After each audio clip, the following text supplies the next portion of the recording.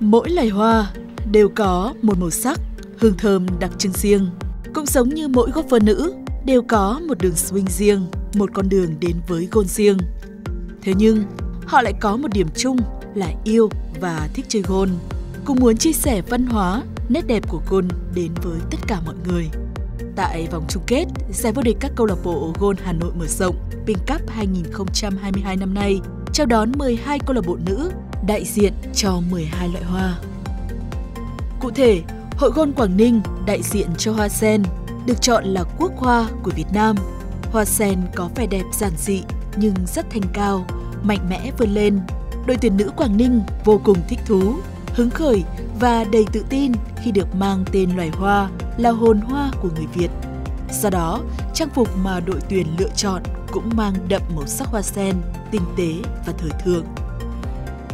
Nhắc đến hoa đào là người ta thường nghĩ ngay đến Tết cổ truyền của người Việt, một loại hoa đặc trưng của miền Bắc mỗi dịp Tết đến xuân về.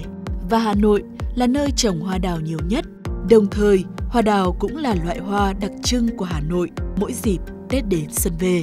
Câu lạc bộ Gold Passion khi được đại diện cho hoa đào cũng đã lên ý tưởng thiết kế cho trang phục thi đấu của đội mình.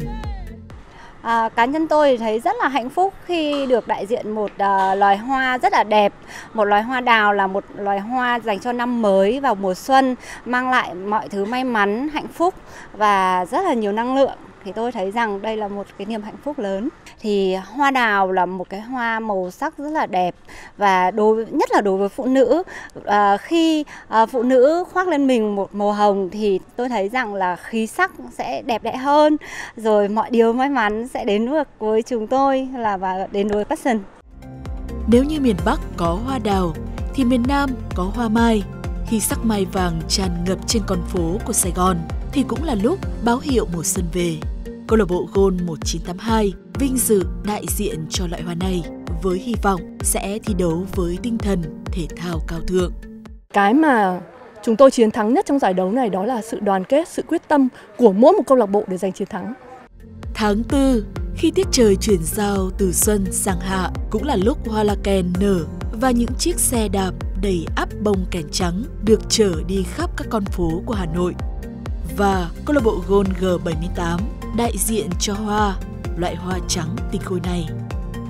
Trong ngôn ngữ của loài hoa, hoa trà mang ý nghĩa là sự duyên dáng nhất. Hoa là sự kết hợp giữa sự thanh lịch của hoa hồng, vẻ đẹp của hải quỳ và sự tinh tế của hoa lan.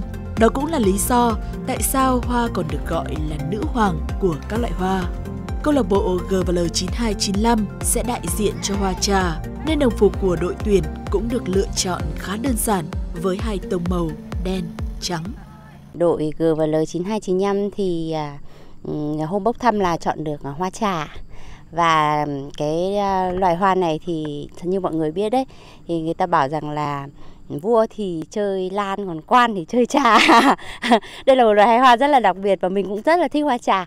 Cho nên là câu lạc bộ đã chọn là loài hoa trà màu trắng.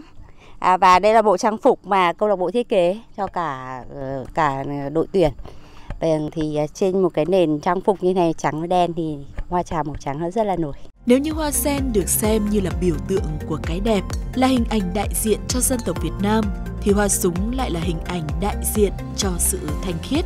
Đội tuyển nữ câu lạc bộ luật sư miền Bắc đã vinh dự đại diện cho loại hoa này và cũng đã có sự kết hợp khéo léo trên trang phục thi đấu của đội tuyển.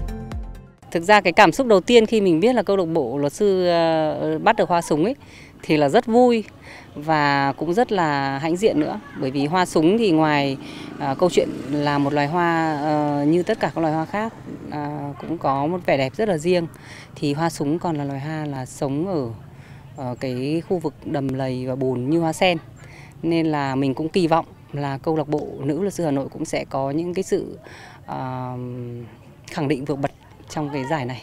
Câu lạc bộ nữ T74 xuất quân lần đầu tham gia giải đấu đã may mắn bốc thăm được loại hoa yêu thích trong 12 loài hoa, đó là hoa mộc. Hoa mộc có vẻ đẹp vô cùng mộc mạc, thế nhưng ẩn sâu bên trong là hương thơm quyến rũ, làm ngất ngây lòng người. Điều này tượng trưng cho vẻ đẹp tiềm ẩn, thanh tao, không cầu kỳ, phô trương, tự công nói, sắc trà, hương mộc. Các nữ chúa T74 cũng mang vẻ đẹp thanh tịnh mà quý phái, mang trong mình nguồn năng lượng tích cực cao. Hoa tường vi tuy không lộng lẫy, quyến rũ như hoa hồng, không rực rỡ, chói sáng như hoa cúc, nhưng nó là tượng trưng cho một vẻ đẹp thuần khiết, giản đơn mà vô cùng bình dị. Những cánh hoa tường vi mong manh toát lên vẻ thanh tao như những thiếu nữ đôi mươi, tràn đầy năng lượng và sức sống. Những cô gái trẻ trung, xinh đẹp của câu lạc bộ Golden Mão đại diện cho loại hoa này và hy vọng sẽ đạt thành tích tốt tại giải đấu. Đội nữ khỉ vàng đã chọn được loại hoa đại diện cho mình là hoa mộc lan. Loài hoa thể hiện vẻ đẹp lộng lẫy, quý phái và thanh cao, lòng nhân từ, quảng đại như chính các thành viên nữ của khỉ vàng. Đến với vòng chung kết giải vô địch các câu lạc bộ Gôn Hà Nội mở rộng Bình Cup 2022, tuyển nữ của khỉ vàng lựa chọn 4 màu áo cho 4 bảng, màu tím bảng A, màu xanh dương bảng B, màu xanh lá bảng C và màu vàng bảng D. Tại giải vô địch các câu lạc bộ Gôn Hà Nội mở rộng, câu lạc bộ G84 đại diện cho hoa tulip, một loại hoa có nhiều màu sắc và mỗi màu lại có một ý nghĩa tượng trưng riêng. Ví như tulip tím tượng trưng cho hoàng gia, quyền lực, sang trọng và sự lãng mạn. Quan hoa hồng tượng trưng cho tình yêu, sự lãng mạn với hương thơm quyến rũ. Đây là loại hoa đại diện cho câu lạc bộ Gôn Đại học Quốc gia. Hoa hướng dương là đại diện cho hội Gôn Thái Nguyên, với đặc tính hướng quang, luôn hướng về phía mặt trời, thì hoa hướng dương mang hình ảnh biểu tượng của mặt trời, luôn khiến nhiều người cảm thấy tràn đầy năng lượng.